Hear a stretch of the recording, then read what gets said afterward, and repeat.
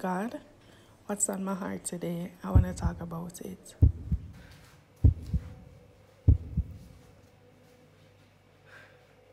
So, welcome back to Heart Talks.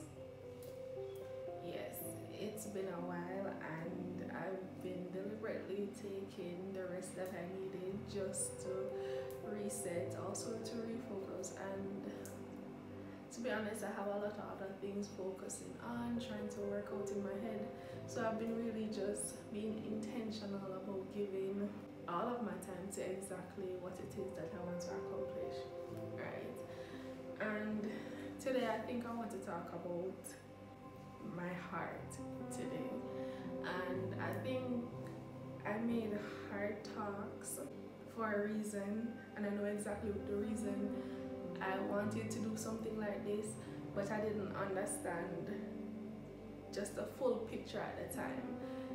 So looking back at just the little think session that I've been going on, like why do you need something like heart talks? I could be doing anything if I wanted to be in on the social media space and the reason why every time I see one of these videos I smile it's because it's a hard project.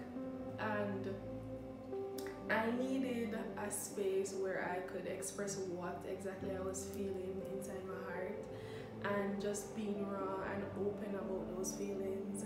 And it you know that want or that need it brings me back to the reason as to why I would need something like that or I need, would need to create something like that or to even express it I think over the years I have kind of made a very, I guess, symbiotic relationship with my feelings, right? Um, and I say that because I am not the kind of person who likes to shove everything under the rug and pretend like they don't exist. Yes, you might not, know what I'm going but on the other end of things, I am fully embracing and going through whatever emotions I'm going through. And I think over the years, it has been a strong point in how I process and handle my feelings and even know with the place I am, just how I express, you know, feelings from that feeling or from that emotion. And it brings me back to the fact that for me to live a life that I want to live and show up in this world how I want to show up and what is most valuable to me and those around me, I need to have a healthy heart. It doesn't mean that I don't have emotions or I don't feel them. It just means that I know how to deal with them healthily and also to express them. And I find that your heart, while your brain is big and is wonderful and it can do anything, I think your heart really shows who you are. Like even taking it back to God and everything, I think that's the place God wants to live. Right? You might think you're thinking through a problem, but the feeling is coming from your heart first. And it's through the state of your heart that's what that's what, what will influence your thoughts and your thinking and your actions and I find that when I have a healthy all embracing, all loving heart, I find that I get along so much better with myself and those around me. Also, I think the heart is kind of the soil. You know, when you know the proverbs about, you know, where God wants to plant his seeds, I think your heart is the soil, and that's why I value the heart, right? And I looked for a scripture and it came up as guarding your heart, like the devotional to the scripture or that chapter was talking about guarding your heart and a lot of times we look at that and you think like you just have a big locked door um, um, before your heart like nobody can get in.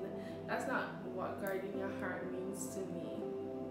Guarding your heart means to me just coming to agreement with whatever emotions you're feeling as well as knowing how to healthily deal with those emotions and just with the guidance of God and everything that He wants for us, I have no fear that we'll be able to guard your heart without throwing up a do not disturb sign.